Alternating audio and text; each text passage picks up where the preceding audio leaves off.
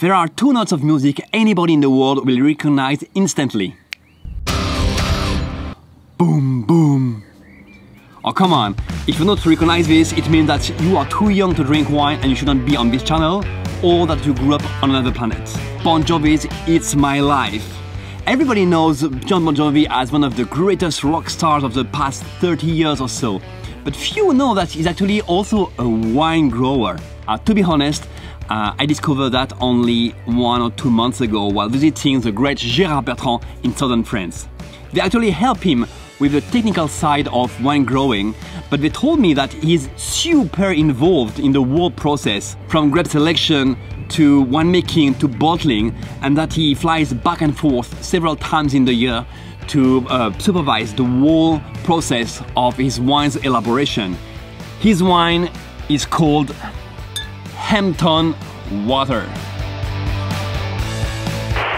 So this is a wine produced in southern France, in Languedoc, uh, they market it as born in France but raised in the Hamptons. It is the fruit of a collaboration between Jon Bon Jovi, his son Jesse, and Gérard Bertrand, one of the most acclaimed wine growers in Languedoc. It is a blend of uh, Grenache, Cinsault, Mourvèdre and Syrah. It sells in France for approximately 16 euros, so 17 US dollars. I've never tried it, so I'm going to do so now, in front of you and without any filter. First thing, the label, um, a diver. I don't know the story behind it, so if you know anything about it, just leave the comments. And something I like already is the closure. Look at that.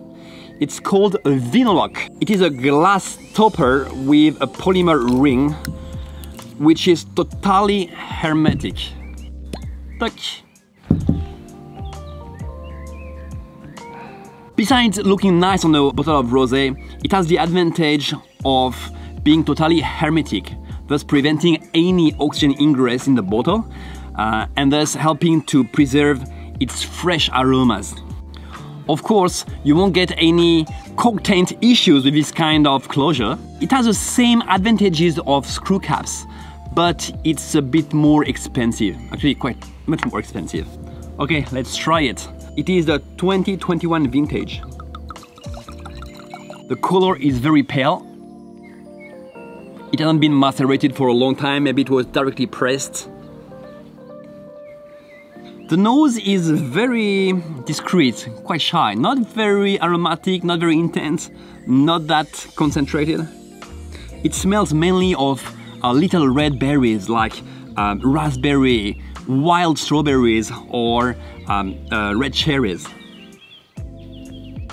Maybe slightly floral. It's not that complicated, not that complex, nor that concentrated on the nose.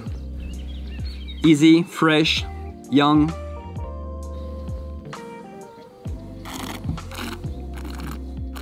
The acidity is really refreshing, very lively. It's, it's very light-bodied. There's no tannins at all, of course. Um, there's a very light bitterness on the finish, which doesn't really bother me, but that can maybe uh, bother some consumers. It's a kind of Provence Rosé, although it is produced from the Languedoc. Normally in the Languedoc you would get a rounder, uh, heavier rosés, which are made from the saignée method. But this one tastes like a direct pressing rosé, uh, which means that uh, the grapes were harvested with the intent to produce rosé. So my conclusion is, this is a very refreshing, easygoing, casual rosé. It's not a rosé de gastronomie, as we say in France. It's a rosé made for the aperitif, to enjoy with friends uh, at a barbecue party, maybe at a wine bar, on the beach. That's a nice wine. It's well made, it's pure, it's clean, then uh, price-wise, 16 euros is a bit expensive for this type of rosé. But then you have Jon Bon Jovi's image and uh, the, the, the, marketing power of Gérard Bertrand. So I guess you know, price is very relative. So yeah, good wine. Um, I would rate this maybe 85, 86 points, uh, which is not a bad score to be honest for um, for uh, everyday drinking wine. Next time maybe we could try Brad Pitt's Rosé, Miraval, and maybe do a comparison. What do you think? Let me know in the comments. Cheers!